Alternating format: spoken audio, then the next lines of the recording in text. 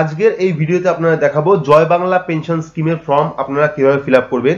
তো জয় Bangla pension scheme মূলত ষাট বছরের ঊর্ধ্বে যে ব্যক্তিরা আছে, তাদের মাসিক এক হাজার টাকা ভাতা দেওয়ার প্রকল্প, অর্থাৎ এই ফর্মটি ফিল করলে কিন্তু আপনারা, এই ফর্মটি ফিল করে আপনারা জমা করলে কিন্তু মাসিক এক হাজার টাকা ভাতা পেতে পারেন। তো আজকে এটাই দেখাবো যে জয় বাংলা পেনশন প্রকল্প স্কিমের যে ফর্মটি, সেই ফর্মটা আমরা কীভাবে পূরণ করব সঠিক পদ্ধতিতে এবং কি কি ডকুমেন্ট লাগবে, কোথায় জমা করবেন, তার বিস্তারিত কিন্তু এই ভিডিওতে থাকছে।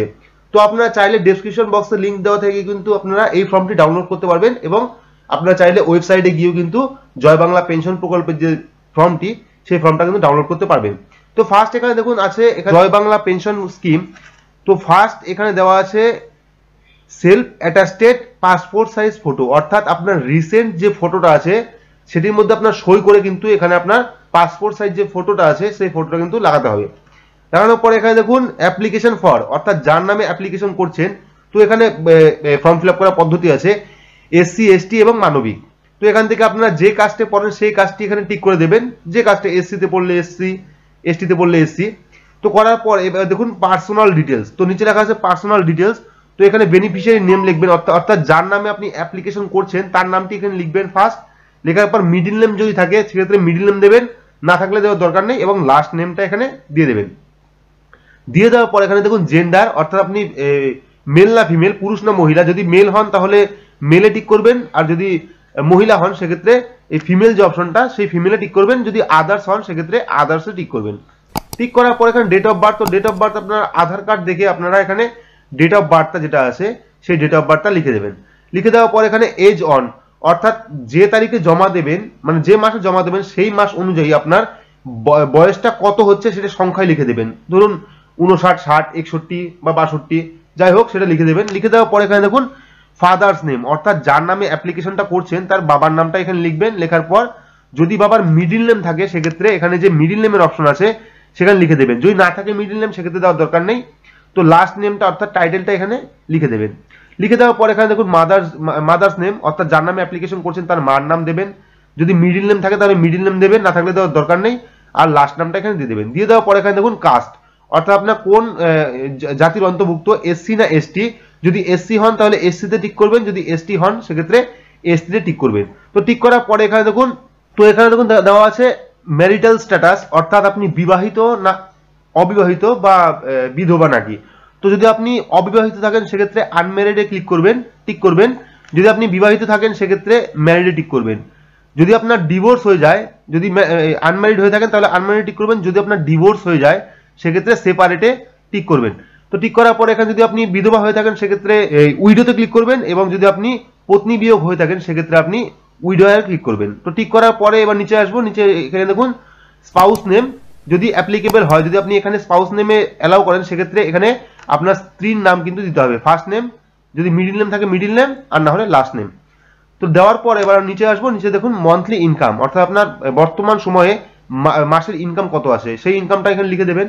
লিখে দেওয়ার পর এখানে দেখুন পার্সোনাল আইডেন্টিফিকেশন ডকুমেন্টস অর্থাৎ এখানে ফার্স্ট এখানে আপনাকে কি দিতে হবে? এখানে দেখুন ডিজিটাল রেশন কার্ড নাম্বার যদি আপনার ডিজিটাল রেশন কার্ড থাকে, সেক্ষেত্রে সেই রেশন কার্ডের নাম্বারটা যেটা আছে, সেই নাম্বারটা এখানে লিখে দেবেন।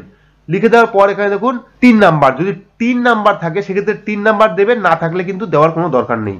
তো এখানে দেখুন, আধার নাম্বার আধার নাম্বারটা কিন্তু অবশ্যই দিতে হবে। আপনার আধার নাম্বারটা এখানে লিখে দেবেন। লিখে দেওয়ার পর এখানে দেখুন voter card number voter card নাম্বারও কিন্তু মাস্ট দিতে হবে। তো ভোটার কার্ড নাম্বারটা এখানে লিখে দেবেন। লিখে দেওয়ার পর প্যান নাম্বার যদি প্যান কার্ড থাকে, সেক্ষেত্রে প্যান নাম্বার দেবেন। না থাকলে কিন্তু দেওয়ার কোনো দরকার নেই। তো যদি বিপিএল ক্যাটাগরি থাকেন, সেক্ষেত্রে এখানে বিপিএল আইডি দেবেন। যদি আপনার বিপিএল কার্ড থাকে, সেক্ষেত্রে বিপিএল এর নাম্বারটা দেবেন। না থাকলে দেওয়ার দরকার নেই। তো এবার আমরা আইটু নিচের দিকে আসব। তো এখানে দেখুন, লেখা আছে কন্ট্যাক্ট ডিটেলস তো ফার্স্ট এখানে স্টেট কিন্তু দেওয়া ফর্মে থাকবেই ওয়েস্ট বেঙ্গল তো দ্বিতীয়ত হচ্ছে অ্যাসেম্বলি তো আপনাদের যে অ্যাসেম্বলি আছে, সেই অ্যাসেম্বলি নামটা লিখে দেবেন এখানে। লিখে দেওয়ার পর ডিস্ট্রিক্ট অর্থাৎ আপনার কোন জেলায় বসবাস করেন সেই জেলার নামটা লিখবেন এখানে। লেখার পর পুলিশ স্টেশন, আপনাদের এলাকায় যে পুলিশ স্টেশন বা আপনি যে থানার আওতায় পড়েন, সেই পুলিশ স্টেশনের নামটা লিখবেন এখানে। লেখার পর ব্লক মিউনিসিপ্যালিটি, যদি আপনারা শহরে পৌরসভায় থাকেন, সেক্ষেত্রে মিউনিসিপ্যালিটি দেবেন। যদি আপনারা গ্রামে থাকেন, সেক্ষেত্রে ব্লক দেবেন। তো দেওয়ার পর এখানে জিপি ওয়ার্ড নং, যদি আপনারা গ্রাম, গ্রামে বসবাস করেন, সেক্ষেত্রে গ্রাম পঞ্চায়েতের নাম লিখবেন। যদি আপনারা পৌরসভা এলাকায় বসবাস করেন, সেক্ষেত্রে আপনারা ওয়ার্ড নাম্বারটা লিখে দেবেন। লিখে দেওয়ার পর টাউন অ্যান্ড ভিলেজ আপনাদের যে ঠিকানাটা, বাড়ির যে ঠিকানা সেই অ্যাড্রেসটা ফুল লিখে দেবেন এখানে। লেখার পরে এখানে দেখুন হাউস নাম্বার তো হাউস নাম্বার আপনারা ভোটার ভোটার লিস্ট যেটা আছে, সেই ভোটার লিস্টে আপনারা হাউস নাম্বার অর্থাৎ বাড়ির নাম্বারটা পেয়ে যাবেন। সেই বাড়ির নাম্বারটা এখানে লিখে দেবেন। লিখে দেওয়ার পোস্ট অফিস আপনি কোন পোস্ট অফিসের আওতায় পড়ছেন, সেই পোস্ট অফিসের নামটা এখানে লিখবেন। লেখার পর পিনকোড আপনার এলাকার যে পিনকোডটা আছে, সেই পিনকোডটা এখানে লিখে দেবেন। লিখে দেওয়ার পর এখানে দেখুন number of years in West Bengal অর্থাৎ আপনি কত বছর ধরে ওয়েস্ট বেঙ্গলের স্থায়ী বাসিন্দা? মানে আপনার কত বছর ধরে আপনি পশ্চিমবঙ্গে আছেন? সেই ডেটটা অর্থাৎ বছরটা লিখবেন সংখ্যায়, যে কত বছর ধরে আছেন তিরিশ বছর, চল্লিশ বছর, পঞ্চাশ বছর হতে পারে। তো সেটা লিখে দেবেন, লেখার পর এখানে মোবাইল নাম্বার কিন্তু অবশ্যই দিতে হবে, যে মোবাইল নাম্বারটা খোলা আছে বা চালু আছে, সেই মোবাইল নাম্বারটা এখানে লিখবেন, লেখার পর যদি আপনারা ইমেল অ্যাড্রেস দিতে চান, সেক্ষেত্রে ইমেল দেবেন, না থাকলে কিন্তু দেওয়ার দরকার নেই। তো দেওয়া হয়ে গেলে পর এখানে দেখুন ব্যাংক অ্যাকাউন্ট ডিটেলস অর্থাৎ আপনার ব্যাংকের অ্যাকাউন্টের ডিটেলস দিতে হবে। তো ফার্স্ট এখানে কি দিতে হবে? ব্যাংক নেম অর্থাৎ আপনার কোন ব্যাংকে অ্যাকাউন্ট আছে, সেই ব্যাংকের নামটা লিখবেন। লেখার পর ব্রাঞ্চ নেম অর্থাৎ কোন ব্রাঞ্চ শাখাটা কোথায়, সেই শাখার অঞ্চলের নামটা লিখবেন। লেখার পর ব্যাংক অ্যাকাউন্ট নাম্বার আপনার যে অ্যাকাউন্ট আছে সেই অ্যাকাউন্ট নাম্বারটা এখানে লিখে দেবেন। লিখে দেওয়ার পর এখানে আইএফএস কোড নাম্বার অর্থাৎ ব্যাংকের যে আইএফএস কোড নাম্বারটা সেটা ব্যাংকের পাসবই পাসবই আপনারা পেয়ে যাবেন। সেখান থেকে আইএফএস কোড নাম্বারটা দেখে লিখে দেবেন। লিখে দেওয়ার পর এখানে দেখুন, তো এখানে দেখুন ফর মানবিক স্কিম অর্থাৎ এই জায়গাটা একটু ভালোভাবে বুঝবেন। যদি আপনি প্রতিবন্ধী হন বা আপনার কোনো অঙ্গ প্রত্যঙ্গ বিকল হয়ে থাকে, সেক্ষেত্রে কিন্তু টাইপ অফ ডিজিবিলিটি অর্থাৎ প্রতিবন্ধী হিসাবে কিন্তু আপনি এই ষাট বছরের যে বৃদ্ধ ভাতা, অর্থাৎ যে জয় বাংলা পেনশন প্রকল্প, সেক্ষেত্রে কিন্তু এখানে সিলেক্ট করে আপনার প্রতিবন্ধিতা যেটা আছে সেটা কিন্তু দিতে পারেন। ধরুন আপনার একটা হাত বিকল আছে বা একটি চোখ নষ্ট আছে বা আপনার পা নষ্ট আছে, সেক্ষেত্রে এখান থেকে সিলেক্ট করে কিন্তু আপনারা মানবিক স্কিমে আওতায় কিন্তু পড়তে পারেন। তো এখানে দেখে নেবেন যে আপনার কোন কোন জিনিসটা যদি প্রতিবন্ধিতা থাকে, সেক্ষেত্রে কোন কোন অঙ্গটা বিকল আছে, সেক্ষেত্রে এখানে টিক করে দেবেন। না থাকলে দেওয়ার দরকার নেই। তো এখানে দেখুন ডকুমেন্টস লিস্ট তো এখানে কি কি দিতে হবে আপনার? ফার্স্ট এখানে দেখুন পাসপোর্ট সাইজ ফটোগ্রাফ অর্থাৎ আপনি যাতে দেবেন তাতে টিক করবেন এখানে। যদি পাসপোর্ট সাইজ ফটোগ্রাফ দেন, তাহলে টিক করবেন এখানে। যদি copy of certificate caste certificate দেন, যদি জাতি প্রমাণপত্র দেন, সেক্ষেত্রে এখানে টিক করবেন। টিক করার পর যদি আপনি ডিজিটাল সার্টিফিকেট দেন, সেক্ষেত্রে টিক করবেন এখানে। যদি আপনার রেশন কার্ড থাকে ডিজিটাল রেশন কার্ড সেক্ষেত্রে টিক করবেন। মধ্যে কথা হলো, এর মধ্যে যে যে ডকুমেন্টস আপনার কাছে আছে বা যে যে জিনিস আপনি দিতে পারবেন সেইগুলোতে টিক করবেন, বাকিগুলো কিন্তু আনটিক রেখে দেবেন। অর্থাৎ যে যে ডকুমেন্টস আপনি দিতে পারবেন জেরক্স কপি সেই সেই ডকুমেন্টসে টিক করবেন, বাকিগুলো কিন্তু ছেড়ে দেবেন। দেখুন সেলফ ডিক্লারেশন একটা ফর্ম আছে। তো এখানে কি লিখবেন? এখানে ফার্স্ট দেওয়া আছে, দেখুন in event of my death I hereby nominated অর্থাৎ আপনার নমিনির নাম যেটা আছে, যদি কোনো কারণে আপনার মৃত্যু হয়ে যায়, সেক্ষেত্রে আপনার নমিনির নামটা এখানে লিখে দেবেন। পরবর্তীকালে সেই পেনশনটা কিন্তু তার আওতায় চলে যাবে। তো দেওয়ার পর এখানে দেখুন, দেওয়া আছে presently I am receiving following social security pension in the tracks অর্থাৎ যদি আপনি কোনো রকম, ধরুন বৃদ্ধ ভাতা বা বিধবা ভাতা বা প্রতিবন্ধী ভাতা বা লোক প্রসার শিল্প, শিল্পর যে প্রকল্প সেই ভাতা মানে যদি আপনি গভর্নমেন্ট থেকে কোনো রকম ভাতা পেয়ে থাকেন, যে ভাতাটি পান, সেই ভাতা ওখানে কিন্তু আপনার টিক করতে হবে। তো ফার্স্ট এখানে আছে N S NSAP old age যদি থাকে আপনার, সেক্ষেত্রে টিক করবেন। যদি আপনার ওল্ড এজ পেনশন থাকে, সেক্ষেত্রে এখানে টিক করবেন।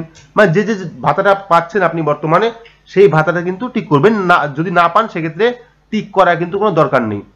তো এখানে দেখুন for the office use only তো তারপরে যেগুলো আছে সব কিন্তু যারা জমা করবে বা যারা যেখানে জমা নেবে আপনার ফর্মটা, সেখান থেকে কিন্তু তারা ফিল করে দেবে এবং সেখান থেকে কিন্তু আপনাকে অ্যাকনলেজমেন্ট স্লিপ দিয়ে দেবে।